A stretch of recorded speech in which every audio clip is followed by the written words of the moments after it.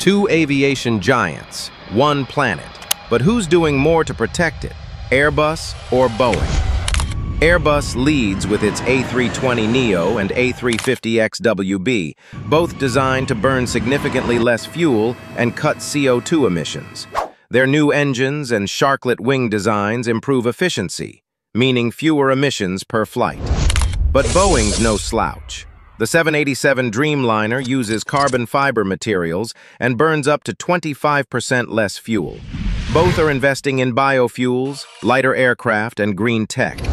But one company is pushing faster.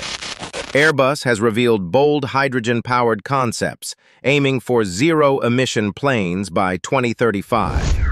Boeing's focusing on sustainable aviation fuels, with a goal to make all its planes SAF compatible by 2030. So who's winning the green race?